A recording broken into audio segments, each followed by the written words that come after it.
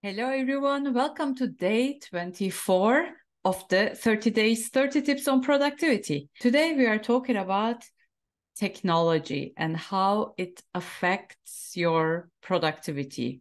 You probably have heard many people talk about the negative effects of technology on our productivity, that technology makes us more distracted and all of that. And the opposite camp talks about technology being very helpful for our productivity. Basically, is technology your friend or your enemy? I am of the opinion that technology can be both a distraction, especially left unchecked, but it can also be a very powerful aid to help with productivity. On the one hand, I believe that many technologies are designed from the get go to distract us more or to grab our attention, to hijack our attention. But on the other hand, we also know that technological advancements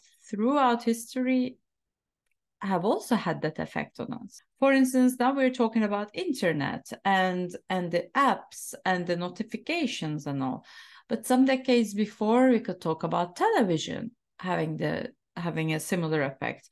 Sometime before that, we could talk about the radio having a similar effect. And if we take the argument a bit further, we can even talk about the distraction effects of food, alcohol, other things in our life. So while there are certainly some external distractions that grab and hijack our attention, the distractibility comes from ourselves, our human nature, our distractible brain that wants to go after shiny objects, basically. And yet, we also know that there are a lot of technologies as well that are helping us with our productivity. That could be the exact same devices that that make us distracted. Computers are one of them. Smartphones all those apps that annoy us with their notifications that may be on the background very helpful with the productivity. So the challenge is really to develop this awareness around the technologies that we are using could be hardware software and the type of effect they have on our productivity.